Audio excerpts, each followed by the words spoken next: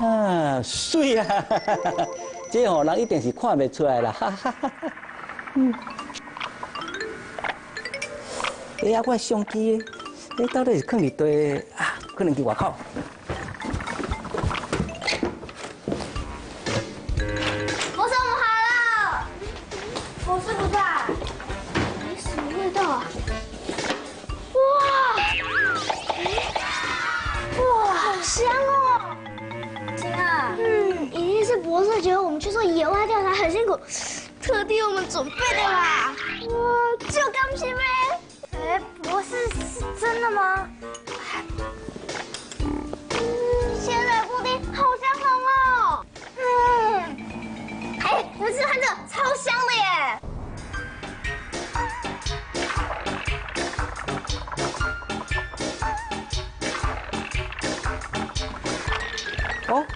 来了。嗯，博士。哎，那调查顺利吗？嗯。哎，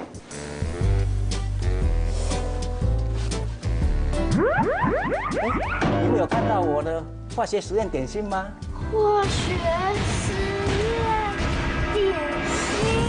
对啊，我用体温计做的啊，我记得是摆好的啊。哎，我做的跟外面卖的一定很像啊。我这个把它换到部落格呢，一定得到很多赞。取温器。就是这个啊。这个群聚啊，其实呢，外面卖的一些点心啊、饮料啊，都是用起云剂呢搭配一些香料啊或者色素啊，根本用不到那个新鲜的材料，就可以做出很多的点心哦。不是，你是说这个鲜奶布丁也是用那些做的？哦当然啦。来，我来叫你们做好了。嗯。来，心柔，你来这边的这个玻璃瓶里面倒一点水。来，你拿起来。那我加一点起云剂呢，不用太多。来，让你把它摇一摇。来，我加一点果糖。那我来再加一点牛奶香精。最后呢，我们再加一点洋菜粉。洋菜粉。哦！我们看，好浓的牛奶味。我们只要把这个呢化学鲜奶布丁呢放在冰箱里面冰一冰，让这个洋菜粉的凝固呢，就会跟我做出来这个完全一样啊。哎，博士，那那个牛奶香精是用鲜奶浓缩的吗？当然不是啊，它也是化学原料调出来的啊。啊？博士，那这个橘子果冻也是吗？对啊。来，亚荣，那我来叫你做果冻好了。那现在呢，我们改口味，我们来做草莓果冻好了。嗯。然后，你在这个呢盒子里面倒三分之二的水。好。那我也一样哦，在这里面呢，我们来加一点起云剂。那我们现在呢，再加一点草莓香精。哇，好。来看一看，闻闻。哇，草莓味好重哎。嗯，对。哎，可是一点新鲜草莓都没用到哎。嗯，不是。起云剂是食物吗？起云剂呢，它是食品添加物，它本身呢是没有味道的。可是呢，它可以很快的带来哈视觉上的效果。像这一杯水呢，来，我们给它加一点起云剂呢，你看看它会有什么不一样哦。哎，变得雾的，好像比原本的好喝。嗯。起云剂呢，它最大的功用就是乳化，乳化呢是把两种不同属性的。液体呢，把它能够让它很均匀的搅和在一起，像是把水啊跟油呢，把它混合成一个乳状的食物，像是我们所吃的冰淇淋啊或者沙拉酱等。哇！对，维安，你要不要试试看？呃，这里呢，你给它倒一杯水。好，那你呢，给它倒一点油进去。啊，看看呢，油呢是会不会浮在上面？因为油水的密度不一样，所以油水不相容。嗯，没错。但是呢，你现在用力呢把它搅拌一下，看看又会怎么样？变得有点雾雾的。这个就是乳化吗？没错。不过尾安如果停下来以后呢，油又浮上来，油水又分离啦。嗯。那这样的产品呢，它卖相就不好。所以呢，我们如果加了起云剂以后呢，就会发挥乳化的效果啊。起云剂之后，油水就不会再分离了。乳化剂的角色就像是在两个个性极端不合的人中间，专门负责传话、降低摩擦，并且让他们永远紧密结合的和事佬的角色。哦，所以起云剂就是乳化剂。哇，没想到起云剂还有这个功效哎。嗯，可是博士，起云剂跟塑化剂又有什么关系呀？诶，对啊，新闻上面说塑化剂很恐怖哎。嗯，起云剂呢，它原是种呢食品添加物，它通常是用没有味道的蔬菜油呢，像是菜籽油啊、棕榈油呢等为主要的成分来铸造的。这不过呢，这次会发生这么重大的食品风暴呢？是因为有一些起云剂的铸造商呢，它是利用塑化剂来代替蔬菜油，这样呢铸造出来的起云剂呢就含有塑化剂，被大家吃进肚子里啦。啊，嗯，那不是你这瓶？哦，这瓶哦，这瓶是我向食品教授借来的啊。呃，快快快快喝水，快喝水。这瓶是应该是新铸造的，应该没有问题。哎。是不是这些都被这些哦？好厉害！排出塑化剂除了多运动，还有多吃绿色蔬菜。好。哎，为什么只有我一个人在排毒啊？因为点心吃最多啊。哎，好。哎，找到救星了！哎，我们看电话。这个啊，说中山大学有位谢教授，他能够在三秒钟之内检验出有没有塑化剂哦。哎，太棒！哎呀，那你赶快带我去检验看看，我到底有没有吃到塑化剂？嗯。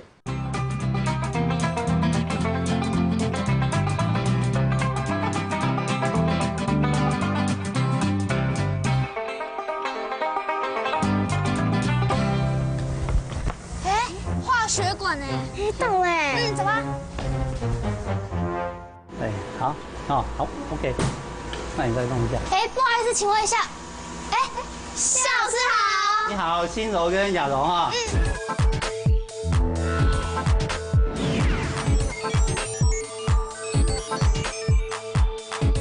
你们电话上讲讲说要来检测塑化剂，是不是？哎，对啊，夏老师，你有台塑化剂检验车，对不对？对，就是这一台。哇。那它的名字呢是就叫做移动式大气压力质谱仪。这台仪器真的只需要三秒钟就可以检验出有没有塑化剂吗？对，啊，我们平常啊一般在检测塑化剂的时候，都会把样品呢送到实验室去，最主要是为了迁就质谱仪的操作。啊，那塑化剂风暴以后呢，啊，短时间就一大堆样品要要求检验。那我们为了要让能够检测能够快速方便服务更多的人，我们就设计了这一台移动式的质谱仪。那我们就可以直接开到我们的那个超商，还有啊要检测的地方，为更多人做更快速、更多的服务。好，可以。那我们今天刚好呢啊，有一群也很关心塑化剂检测的小朋友，他们要求我们帮他做一些检测，所以我们可以跟他们一起来吗？哎，好啊。好，我们的检验车来了。小朋友，我们就可以开始来检验了。嗯，好。好，谁先来？我。老师，我们家之前买了好多这种运动饮料，哎，不知道有没有塑化剂。哦，好，那我们就可以用这一台仪器，很快来检查，看看里面有没有塑化剂，好不好？好。好。然后把这个探针拿起来，然后轻轻的沾一下运动饮料，然后接下来呢，把它放进去。哇，这么简单就可以做检测哦。对。那你看一看，刚刚我们放进去的样品，现在有一个很强的讯号风出来，那就代表塑化剂的讯号。哎，那你以前常常喝这种饮料吗？以前常常喝，哎。哇，那这个饮料就不安全啦，哦，所以最好呢回去赶快把它丢掉。那现在呢，在那个超商上面的这个架子上面卖的饮料呢，基本上都经过检查合格，所以那个比较安全，好不好？所以这个倒掉了。好，谢谢老师。下一位小燕啊？我。我想验爸爸放在车上的矿泉水。矿泉水？哎，那你知道这瓶矿泉水放在车子里多久？呃，差不多半个月吧。哇，对啊，半个月很久哎。哦，那你就要知道这个矿泉水呢放在车里面不好的就是我们夏天温度太高。哦，那温度高的话会把这个矿泉水的这个瓶子里面的这个化学物质溶出来，溶解出来以后啊，把它矿泉水里面，那你喝进去的话对身体是不好的。那我们就来检查看看这里面到底有没有塑化剂。哎，夏老师，那我可以帮你检验吗？好，来，那就给你来做。打开瓶盖，把探针拿起来，然后放到矿泉水里面，然后再放到仪器里面。哎，那谢老师这样子的话，是代表没有塑化剂哦？没有。好，恭喜你没有塑化剂。哇，谢老师。哎，谢老师，我们常常看新闻上面说食物被验出有塑化剂。可是为什么会这么多啊？对，这个食物里面啊，它本来啊应该不含有塑化剂的哦。那基本上食物里面塑化剂的来源呢，啊。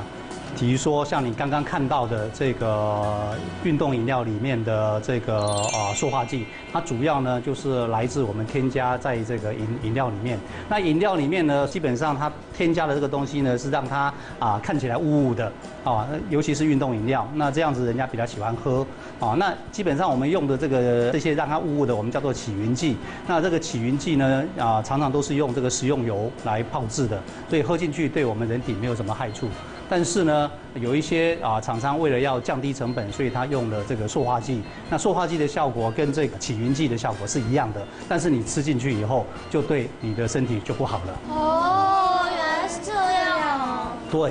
哦，那另外还有一种这个塑化剂的来源，就是我们食品里面，也就是说，我们食品里面基本上不含塑化剂，但是呢，因为它的包装或在它的制造的过程中啊，有用了一些塑胶的制品，那这些塑胶的制品它本身含有塑化剂啊，那包装的时候我们要加热，那这个时候呢，塑化剂就可能啊被放出来，然后就会啊留被我们啊留在我们的这个啊像油包啦，哦像这个啊油类的食品里面啊，啊好，那我们就直接。开始来检验了，我们先检验这个小朋友的零食，好不好？好。好来，检测一下小朋友吃的零食啊。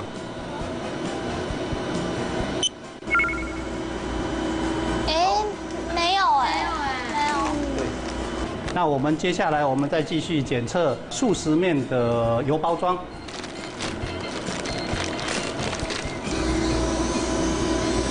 所以油包里面也没有。我们再来检测这个啊大豆油。哇，这就有了，这就有。对。好，最后一样，我们测这个油葱酥。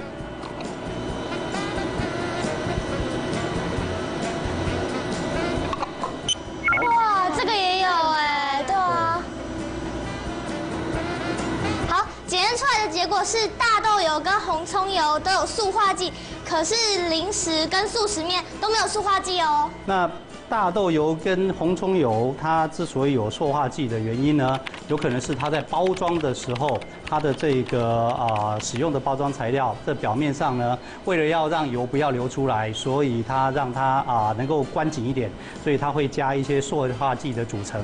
那这样关起来以后呢？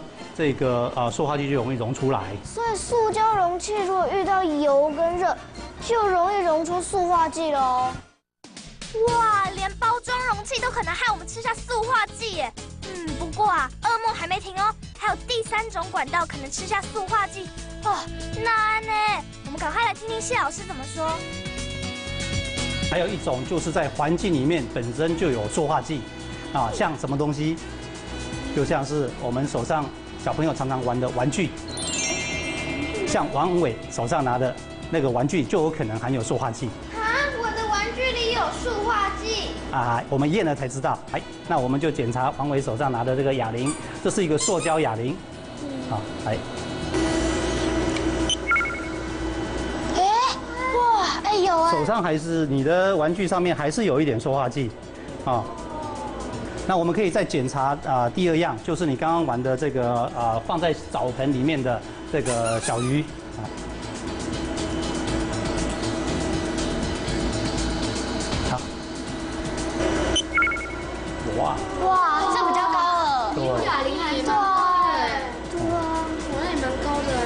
所以我们刚刚这两个玩具都检查出塑化剂来啊，所以小朋友你们要注意，以后玩完玩具以后啊，要去洗手。啊，这样才能够把你的塑化剂从手上拿掉。哎，那文伟，你要赶快去洗手了。对，那他洗手之前，我们可以再做另外一个实验，我们可以测测看王伟手上到底还有没有塑化剂的残留，因为他刚刚啊拿了这个玩具来。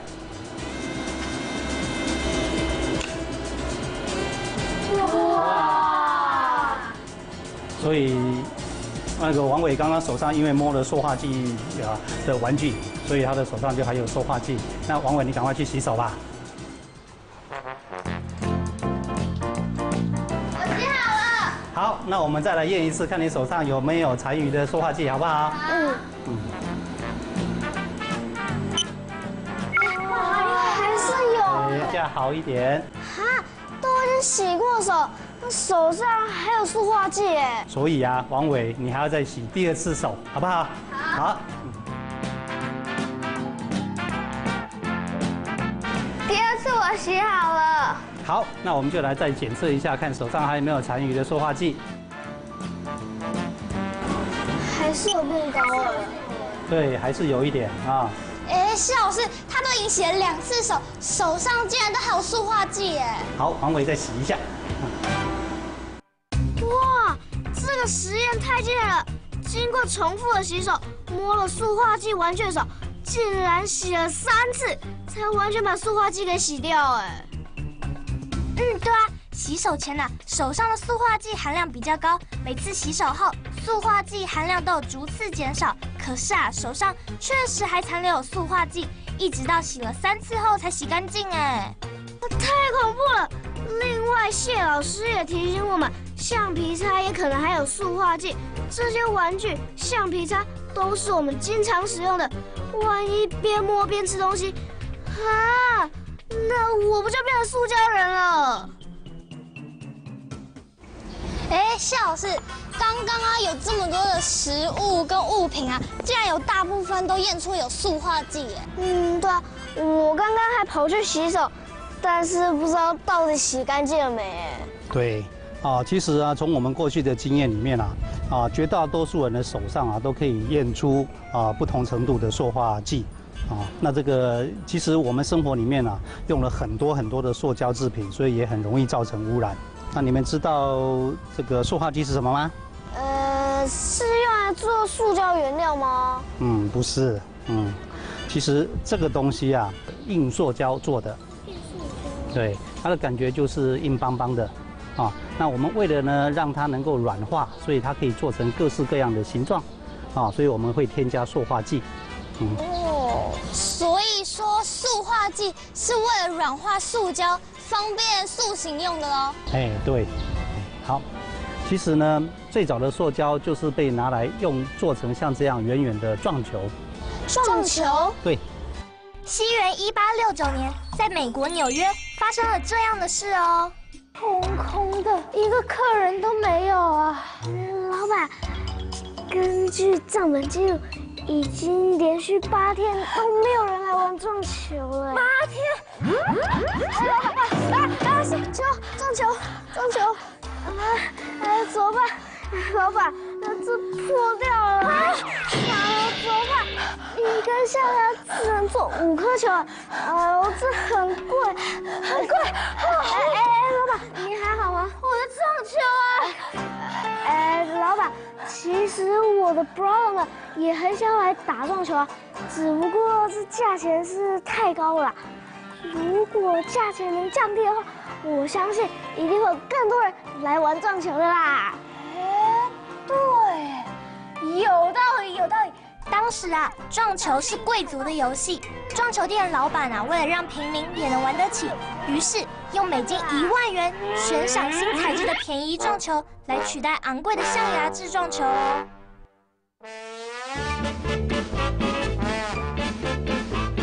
哦，一万元呢？如果我得到这一万元，我就变成有钱人。哎，搞不好我海耶了。还会变成名人呢。印刷工人海耶特在消化纤维里加入樟脑，当做塑化剂，使纤维软化，然后啊放到模子里，做成光滑坚硬的圆球，成功取代昂贵的象牙撞球。海耶特不但赢得了撞球公司一万元的奖金，他所改良的发明赛璐珞也成为塑胶的老祖宗哦。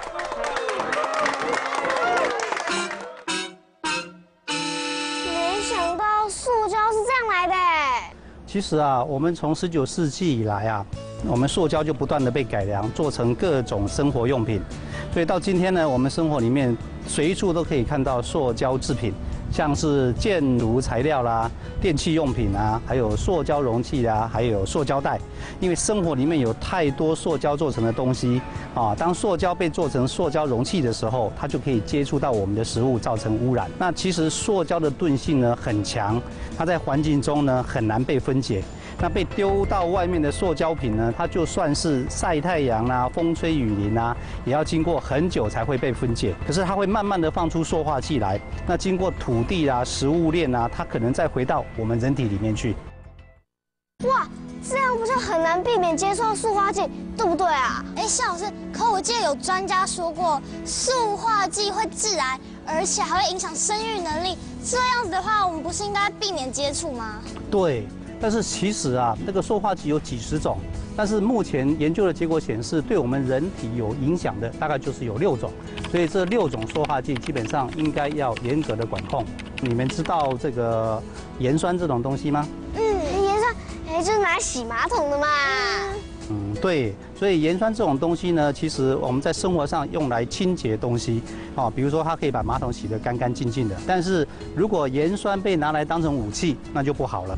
那呃，其实呢，生活上的东西就看我们怎么使用它，啊，如果呃像塑胶的发明呢，它让我们的大象呢不会被拔掉象牙，对大象来讲是好的。